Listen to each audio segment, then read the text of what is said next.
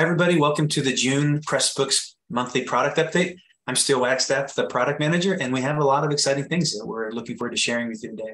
The most exciting thing, I guess, to share is not actually a product change, it's a person that I want to introduce you to. And I wanted to say we're really pleased. We had a very extensive and important search to find and hire our first UX and UI designer. For people that don't know, UX stands for user experience and UI is user interface. And the designer role was a really important one that we were missing at Pressbooks. And we are missing that no longer because we've hired Michelle. I wanted to hand over to Michelle to introduce yourself and say a few words about what brought her here. Thank you. Uh, so yes, I'm Michelle Weremczuk and I am Pressbook's new UX UI designer. Uh, so I have a background in design. I began as an exhibit designer at the Royal Alberta Museum and worked there for about nine years. Uh, so I've always had a real interest in experience design, especially learning in physical spaces. Uh, and over my career, I've really also learned and adopt a lot of digital experience design techniques and methods. Uh, and so that's what I'm going to be helping with here at Pressbooks, making sure that the interfaces are understandable, work the way that you or any user should imagine it to, uh, which also means I'm going to be doing a lot of testing on the site and different adjustments that we're thinking about making uh, with Pressbooks users. So I'm here and I'm really excited to support this community. Well, thank you, Michelle. So the two things that I want to say are one, one of the big projects we expect to begin working on soon, as many of you know, is a redesign of the network catalog provided by Aldine. This has been long desired, long awaited in the works. And we're planning, based on the feedback that others have given here and other places previously, to make the Aldine catalog look and feel much more like the Pressbooks directory in terms of its functionality and appearance. So that Michelle's going to be helping lead that project too. We're probably going to be starting that in our very next sprint in July. Um, and we would love to hear, I, I believe Michelle will probably be contacting some of you or many of you to be user to give your user experience feedback as we start to do some UX research and things like that. So if you want to help by giving feedback or know of users who you think would give useful feedback for us, that's something that we're going to begin doing more uh, as Michelle has the professional skills and experience to do that well for us in the future. The next thing that I wanted to do is actually hand it over to someone else who's in the meeting from Pressbooks. A colleague Thomas is our documentation and support specialist. And he's going to give an overview of several improvements and changes that he's made to documentation over the last few months. Hi, everyone. Um, I think some of you may have corresponded with me over email in the past. Um, aside from doing technical support, uh, part of my role here is to maintain and update the documentation, primarily the user guide and network manager guide. Um, the guides that I inherited uh, when I began here were quite sprawling. There was a amount of redundant info and made it hard to find certain things. And there were also some broken links and uh, some outdated material that I had to correct. So some of the work has been cleaning up the guides, consolidating chapters, and kind of organizing them in a way that aims to be more simple and intuitive. Um, Network Manager Guide has been overhauled in this way recently. And that's also involved setting up redirects for previous chapter URLs whenever those have moved. I'm, uh, I'm also working on increasing the coverage of the docs or how much material the guides cover, which is an ongoing project. Um, for example, I've been adding, I've been adding more material on um, using Pressbooks results for LMS in the Network Manager Guide. This chapter is one that I've added this past month on customizing LTI 1.3 settings. I'm also adding videos that uh, in addition to the written instructions for certain things to demonstrate them that way. And yeah, I'm, I'm always sort of trying to improve these guides. Um, and if there are ways in which the documentation could better achieve that, like material that you'd like us to include in there, um, please feel free to let me know at the premium support email address. Right now, I'm, I'm using the questions that come into that inbox as a kind of index of what needs to be added. Um, but if you have any particular requests or suggestions, any feedback is definitely welcome. Awesome. Thank you. And I want to say, just as an observer, I've been involved with Pressbooks for a long time. And the work that Thomas has done on these guides and the kind of how proactive he's been on documentation, I think has been awesome. And I really, really appreciate it just as a person in this community. Okay, so I think what you can expect in the next couple of months is basically what Thomas said that as we get repeated support questions in, we'll be adding and clarifying documentation. If you are aware of things that your users are having a hard time doing or that you think docs are missing or could be added, please let us know and we'll try to add them as quick as we can. The other thing that Thomas has been doing that I think has been really valuable is for some of the more complicated processes that have multiple parts, he started making videos that show the steps from beginning to end. We're not going to make videos for everything because some things are, you know, they change quite frequently, but for things that seem pretty stable and pretty repeated, we're happy to make more of these kind of training videos. So if you're aware of a topic that you think could really use a video or you'd like a video showing it, let us know and we can start making more of those. So those are the two things we want to share up front. I think what you hopefully seeing is that there has been an increased emphasis and will be on the user experience. We want to make sure that we're making software for people and that it works for the people that want to use it. So over the next few months, I think you'll probably also see other changes that are designed to help improve the onboarding experience for brand new users, the overall experience for network managers, and just make Pressbooks easier to use and navigate because we know there's a, I mean, it's a very complicated dashboard with lots and lots of features. And anything that we can do to re- reduce that cognitive overload or co- overhead so that people can more quickly and easily publish the things they want to publish would be a win for us and hopefully a win for the people who are trying to publish things. So that's what we want to share first. Uh, what I'm going to do next is show you a demonstration of some of the recent features and and and things that we have released and that we've been working on on our team. So the first thing that I want to share actually is uh, related to the user dashboard. So what, what you'll notice now is when a regular user logs into the Pressbooks dashboard, we've changed kind of the dashboard, initial dashboard display to make things a little clearer and easier for them to get started. So the first thing that's going to happen is here's a user that already has a couple of books and they're going to see a get started with Pressbooks box. It says, welcome to name of the network. Get started on your next publishing project by creating a new book or cloning an existing book. It gives them a link to the directory where they can find thousands of books to clone. And then there's two very simple icons that take them to the create a book or the clone a book routine. If you're a brand new user and haven't created a book, um, the message will be slightly different, but uh, that's just the welcome orientation message. So hopefully this is clear first steps or next steps for anyone using Pressbooks. The other thing that we added was this was based on feedback from both Amy and from Thomas is we wanted to make it easier for people to know where they could get help or the support resources if they're stuck with something. So this is a new widget that's added to the dashboard everywhere. It just says need help and it shows them several places they can go for help. The most common is the user guide.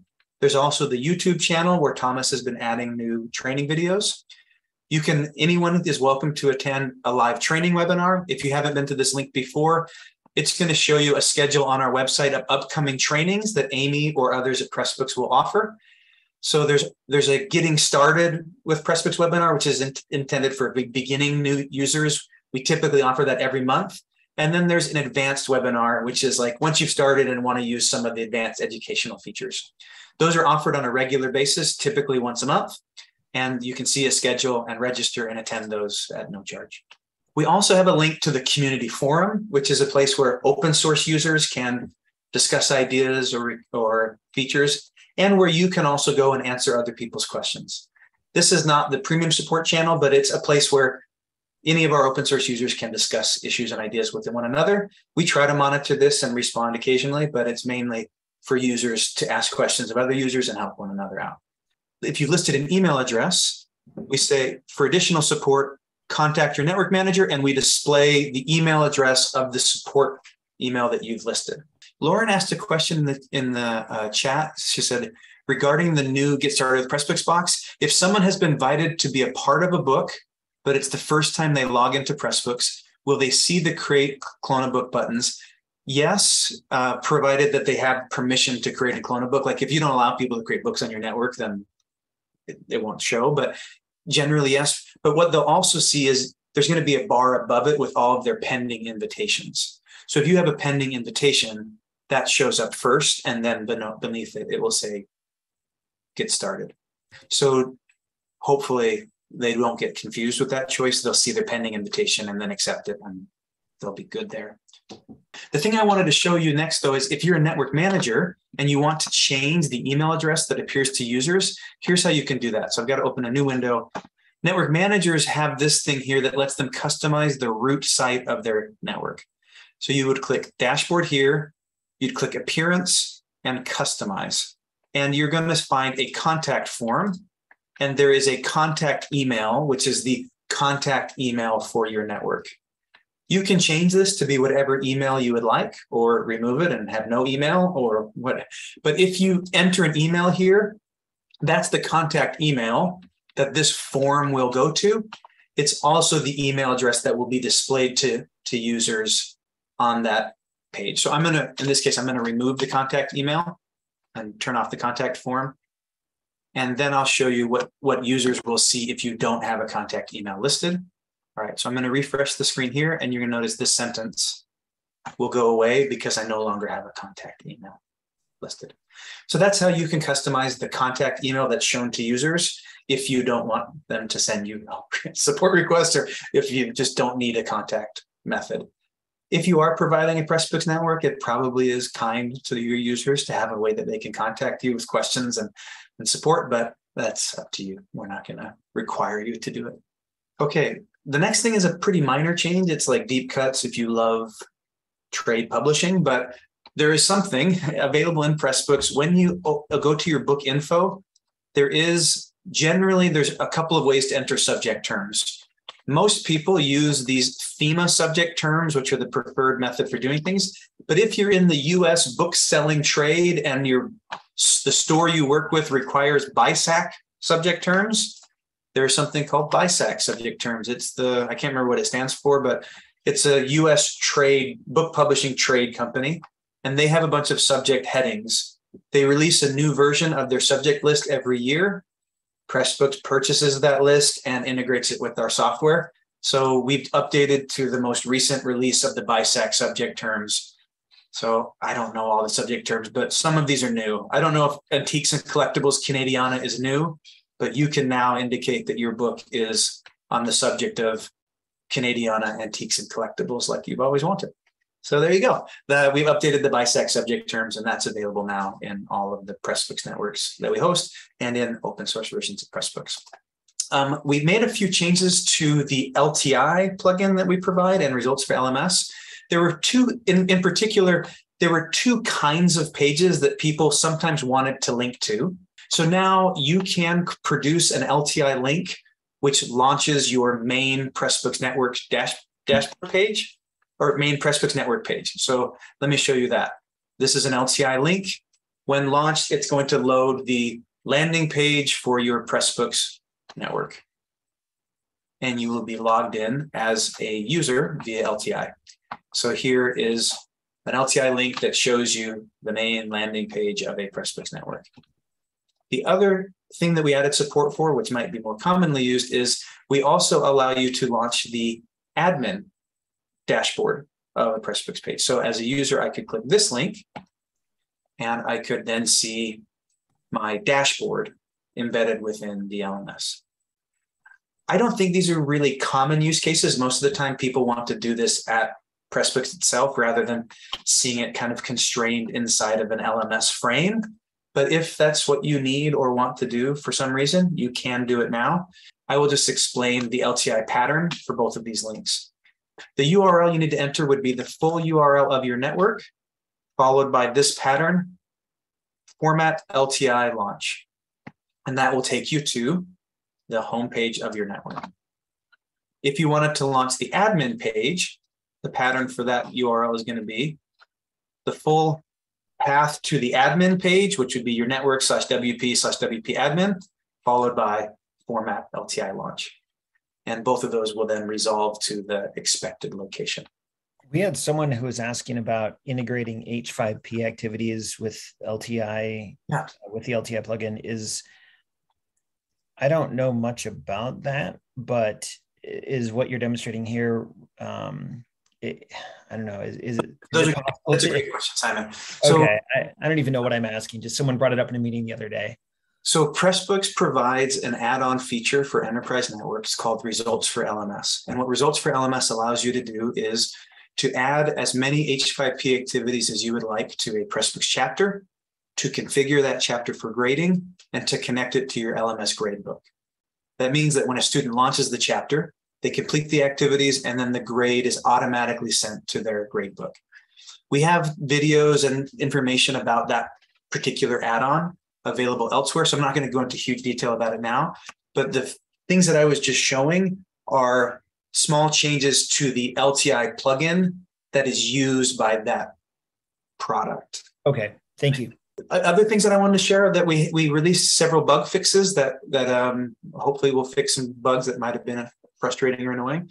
One of the big ones was um, users could unlist glossary terms, which means you created a glossary term, but you chose not to display it in your glossary lists.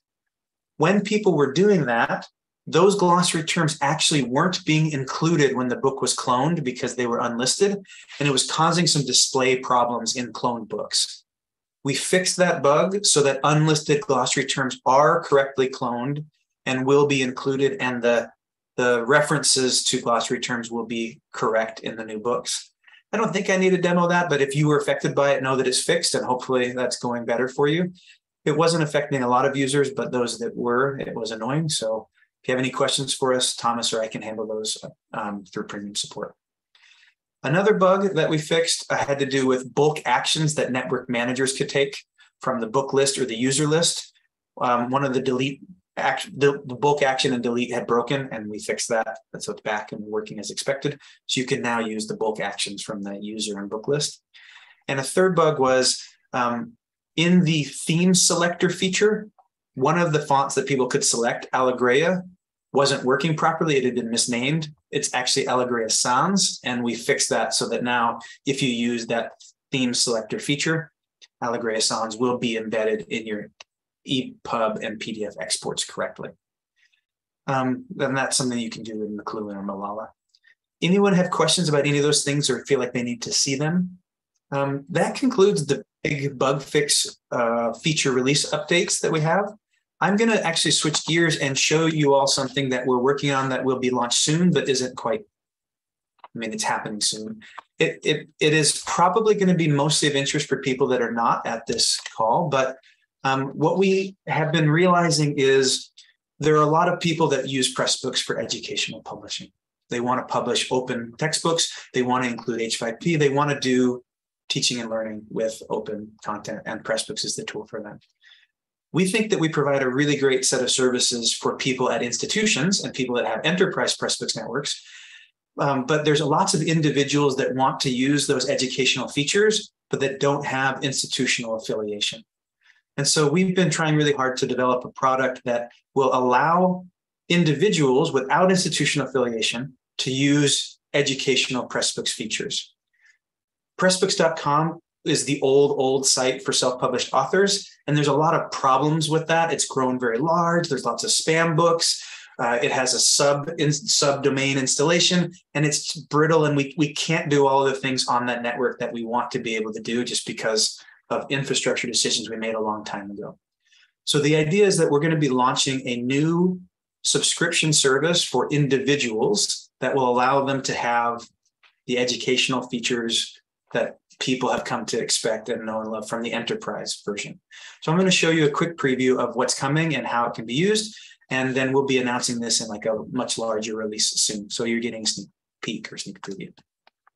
All right, so here I have a development network here. And when a user clicks sign in, they'll see a new kind of interactive page that allows them to sign into their existing account with a username or password. Or if they don't have an account, to register for a new account. People can register with an email address and create a password, or they can use any of these common social tools to integrate with an existing account. So uh, let's say I want to use my Google account and I'm going to log in. I have a lot of Google accounts, so let me use my Gmail one. I have now logged in and created a Pressbooks account with my Gmail account. Creating a book is pretty similar to what it's always been. I'm going to make a fake demo book. And you'll see that when a person creates a book on this new network, they'll be enrolled in a free trial that lasts for a week. And in the free trial, they'll be able to do all the things that they could do on the trial version of Pressbooks.com. There'll be a banner that tells you how long the trial lasts and when it's set to expire.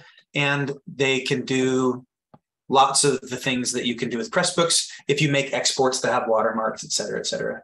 Um, then, if they want to, there will be an upgrade option, and they'll be able to choose one of these subscription, monthly subscription plans to upgrade their book. You can select a self publisher plan, which would allow you to do all of these things for this price a month, or a collaboration plan, which gives you all of the high powered education features. We had kind of been selling this to individuals in a more complicated Byzantine way.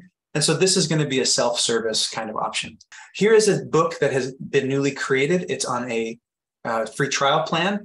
And if I like the free trial and I'd like to continue using Pressbooks on a subscription basis, here's how I can do it. I'm going to select a plan that I want to update, upgrade to, and it will take me to a Stripe integration, which will allow me to pay for a monthly subscription via credit card.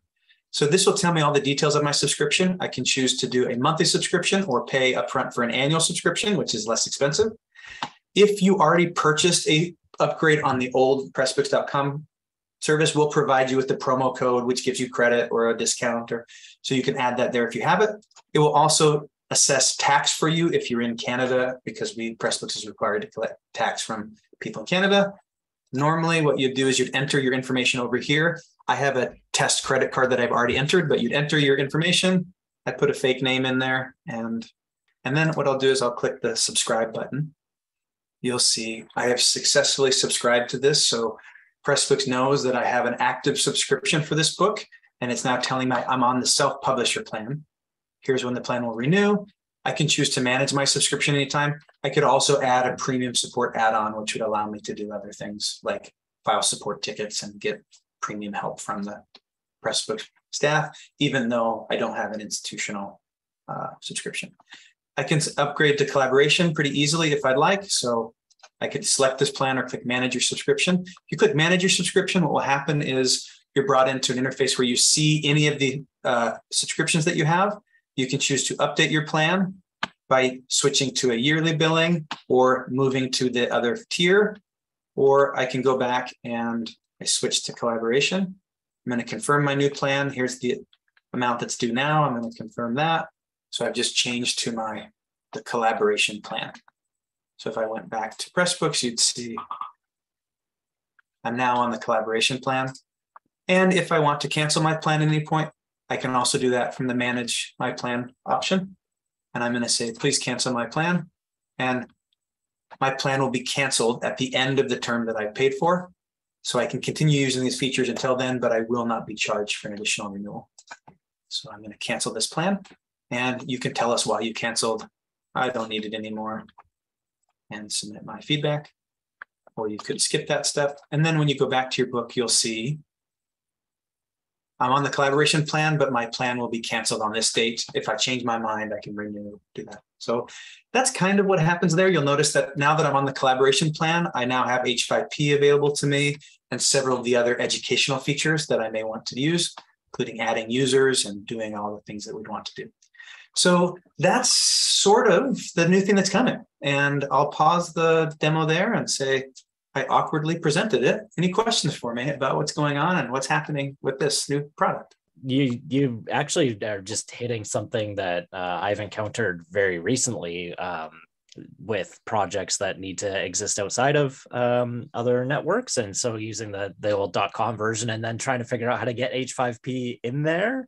Yeah, um, so I'm I'm happy to hear that you've read my mind. Oh, good. And that the moving from the dot .com classic to this service um, uh, you mentioned uh, help with like the account if you've already purchased the purchased the book on the other uh, network. Is there going to be any migration assistance uh, with that as well or? Jr you are a plant. I love that question. Okay so here's what's happening. We haven't announced it quite yet but it will the announcement will be coming in july but we're building a migration form that will be displayed on pressbooks.com. And what it will allow people to do is request migration very simply. So you can request any or all of the books or none of the books you have on pressbooks.com over the next several months. And if you request migration, we will clone and copy all of the content. We'll move your user account over, and then you'll get an automatic notification saying, your book's been moved to the URL. We put redirects in place. Feel free to try it out and upgrade. If you purchase the previous thing, here's your promo code.